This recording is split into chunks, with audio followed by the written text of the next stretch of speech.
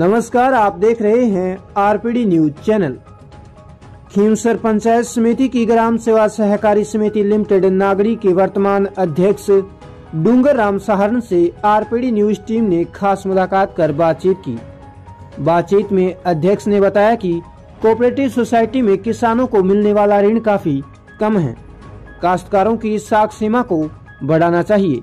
साथ ही अध्यक्ष ने किसानों से अपील करते हुए कहा कि ज़्यादा से ज़्यादा किसान जैविक खेती की ओर ध्यान दे। तो आइए जानते हैं संवाददाता सुनील खिच्ची के साथ खास मुलाकात में अध्यक्ष डूंगर राम सहारण के विचारों को। नमस्कार, मैं सुनील खिच्ची और आप देख रहे हैं आरपीडी न्यूज़। और आज हमारी टीम पहुँची है ग्राम सेवा सहकारी समिति नागड़ी, पंचायत समिति खीमसर, जिला नागौर के अंदर।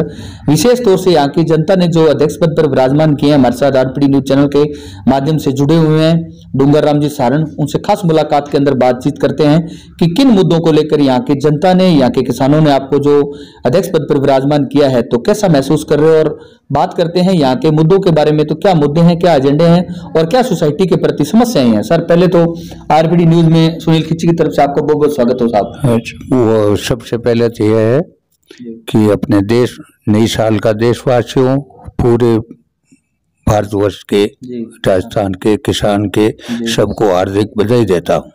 थैंक यू ठीक है? अच्छा इसके आगे आप जो भी है हमारे यहाँ की समस्या पहले तो एक सबसे बड़ी किसान की है वो तो खाद बीज की। जी सर। हमारे यहाँ पहले तो आता था खाद बीज। लोन भी देते थे खाद बीज में। लेकिन उसके बाद में क्या पता नहीं बंद हो गया। जी जी।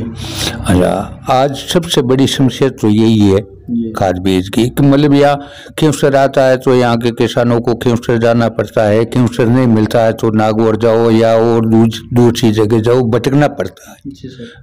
टाइम पे नहीं मिलता सामना करना पड़ता है। अच्छा एक तो वो समस्या है। एक दूसरी समस्या है कि हमारा जो भवन बना हुआ है बिल्डिंग बना हुआ है सोसाइटी का वो। काफ़ी समय से बना हुआ है। वो बिल्कुल जर्जर हो रहा है। उसका वो रिपेयरिंग कराना ज़रूरी है। वो समस्या है तो वो भी हम हमारे प्रस्ताव लेके आगे गवर्नमेंट से मांग करेंगे। और दूसरी है कि किसान के कोई के दस हज़ार है पंद्रह हज़ार है बीस हज़ार है अब कोई के पचास हज़ार भी है वो लोनिंग तो वो हमारी तरफ़ से तो हम किसानों को भला करने के लिए थोड़ा बढ़ाना मांग करेंगे। अब गवर्नमेंट आगे देवे या नहीं देवे हमारी मांग ये रहेगी कि भाई किसानों को थोड़ा बहुत फ़ायदा और मिले। तो उससे क्या है किसान देखो हमारा तो किसान खेती का ही है ज़्यादातर का। तो थोड़ा लोन मिले किसान को सुविधा मिले तो वो टाइम पे खाद भी ला सके बीज भी ला सके उन्नत किस्म के बीज ला सके वो आराम से खेती कर सके।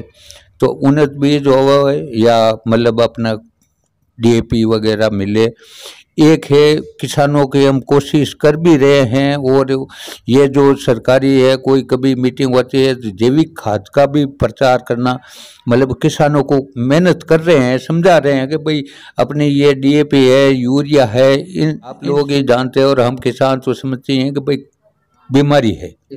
क्यों? कि कोई भी दान है गैस से नहीं मिलता है। चाहे बाजरा है गेहूँ है कोई भी है। है आज अब आज से मतलब पहले पहले के अनाज की तुलना करें तो आज कुछ नहीं है। दस परसेंट पॉइजन पाया जाता है हाँ। अंदर। मतलब आज वो पहले सर बीमारियाँ थी नहीं। थी नहीं क्योंकि शुद्ध अनाज था। शुद्ध अनाज था। आज अब आप घी को ले लो दूध को ले लो किसी चीज़ को ले लो। सब अब चारा में है तो भी वही है। है। नाइट्रोजन का है वो है। तो आज अपन चाहे घी चेक करवा लो चाहे दूध चेक करवा लो उसमें पॉइजन की मात्रा आएगी। सर बातचीत करते हैं डीएपी है जैसे आपका जो गट्टा अपडेट डालते हो उसके अंदर डायमोन फास्फोट पोटेशियम नाइट्रोजन है। हाँ। जैसे डायमोन फास्फोट पोटेशियम तीन गैसें आती है। और ये गैसों के साथ साथ ये तो जहरीली गैसें हैं ही। उसके प्लस में भी सर उसके अंदर जो अ, क्या होता है नमक और अपशिष्ट पदार्थ होते हैं। अपशिष्ट पदार्थ जैसे प्लास्टिक वगैरह। वो भी उसके अंदर होते हैं। तो वो भी ज़मीन की सतह को डैमेज करते हैं और बीमारियों को लाने का पूरा संचालन करते हैं। हमारे साथ जुड़े हुए हैं गेनाराम जी सारण उनसे भी बातचीत करते हैं कि सर आपके जो क्षेत्र के किसान हैं उनको क्या समस्याएँ उत्पन्न हो रही है?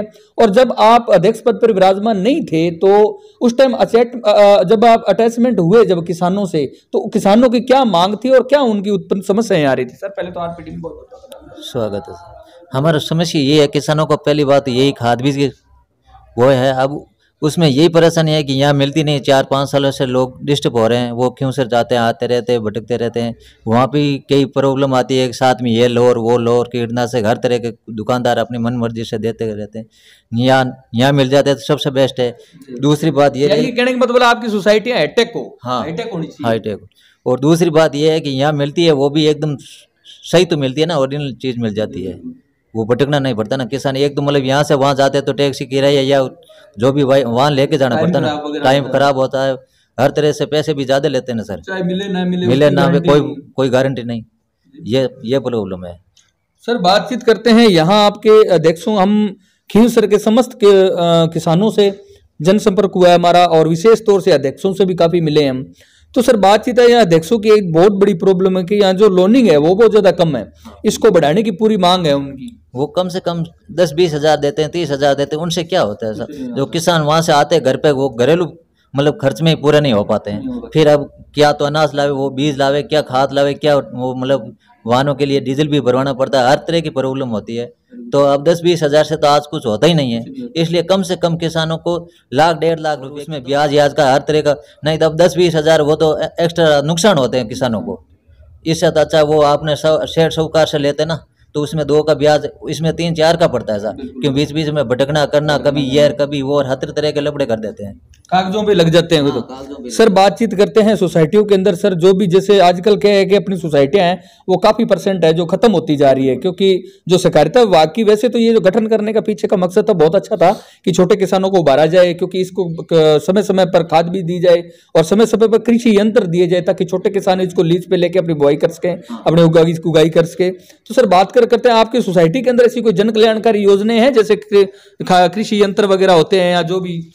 नहीं स्कीम तो है पर यहाँ यहाँ लागू नहीं है ना सर कोई बिल्कुल नहीं के बराबर समझो ना। हाँ। तो क्या मांग है आपकी? हमारी यही मांग है कि इसके में लोन होन की हर तरह से मतलब जो भी है उस सोसाइटी के अंदर होनी चाहिए गवर्नमेंट वो यहाँ लागू करनी चाहिए। बिल्कुल। हाँ। तो सर बात करते हैं आपको आरपीडी न्यूज़ चैनल के माध्यम से पूरा देश देख रखा है नौ वर्ष है जो नौ वर्ष दो हज़ार तेईस अभी उपलक्ष्य पर आप क्या कहना चाहते हो किसानों को और देशवासियों को? किसानों को यही कहना चाहते हैं कि आगे के लिए जो ये कीटनाशक है ना इसको कम करके आप ये जैविक खाद ज़्यादा उपयोग मिलेगा देसी खाद देसी खाद। इससे मतलब पैदावार भी अच्छी होगी ज़मीन भी मतलब खराब नहीं होगी इसलिए। और अनाज अनाज हर तरह का साफ़ सुथरे और शुद्ध हो जाएगा। तो सर बात करते हैं आपके राजनीति परिचय के बारे में। पहले कोई संगठन संस्थाओं से या कौन सी पार्टी से आप बिलोंग करते हो इसके बारे में थोड़ा बताइए। पार्टी में कोई भाग लेते नहीं। विकास कोई पार्टी मानते हो? बस जो विकास करते वही पार्टी है। ये तो यानी कि कहने का मतलब आप किसानों से जुड़े थे और किसानों ने इस पद पर विराजमान किया आप। हाँ हम किसानों के साथ में है। किसानों जो भी जो भी है। सर बातचीत करते हैं सिंचाई पानी को मांग को लेकर। सर यहाँ हम काफ़ी पूरे बीकानेर और पूरे जो फिफ्टी परसेंट जो बीकानेर है उसमें भी हमने कवरेज किया है। तो सर बातचीत करते हैं यहाँ किसानों के लिए क्या कि सिंचाई पानी का जो पानी है जो टूल वगैरह वो बहुत ज़्यादा नीचे हज़ार हज़ार फुट तक नीचे चला गया है। ज़्यादा होगा।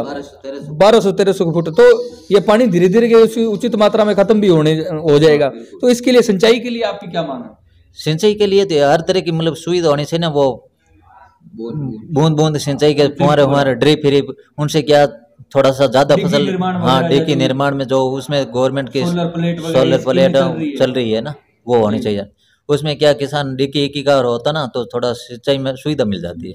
ये बात उस पर लोन वोन की व्यवस्था होनी चाहिए। वो तो है व्यवस्था हाँ। हमारे साथ जुड़े हुए थे डूंगर राम जी सारण विशेष तौर से ग्राम सेवा सहकारी समिति और विशेष तौर से उनका बोलना है कि किसी प्रकार का मुद्दा हो किसानों के साथ है हम।